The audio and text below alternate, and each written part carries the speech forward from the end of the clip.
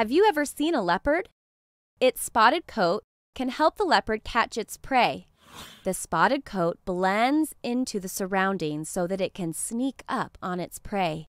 The unsuspecting prey cannot see the predator and is then attacked.